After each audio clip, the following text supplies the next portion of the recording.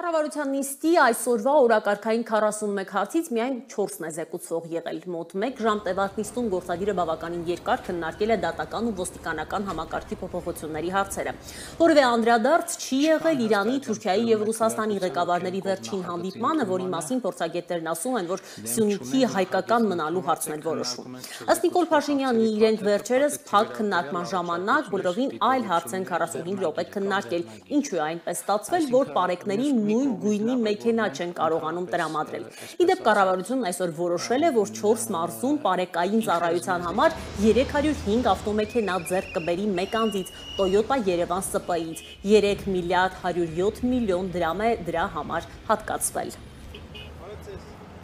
Շիրակի եւ Լորվա մարզում մեր բարեկային ոստիկանության մեքենաները սև գույնի են, Երևանում սպիտակ են։ Այդտեղ էլ խնդիր կա, սկզբանե որոշված էր որ պետքա լինի սպիտակ, բայց նախորդ փուլում մենք արձանագրեցինք, որ եթե մենք շարունակենք պահել սպիտակի պայմանը, մենք մեքենա չենք ունենա, որտեղ էլի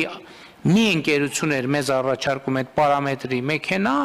արձանագրելով, որ կարող է բերել միայն սև գույնի մեքենա։ Եթե մենք սպիտակ պայման դնենք, սպիտակ մեքենա ինքը չի կարողանալու բերել։ Մենք այդտեղ գնացինք այդ լուծման այդ կոմպրոմիսին։ Հիմա մենք այս պարագայում ունենք խնդիր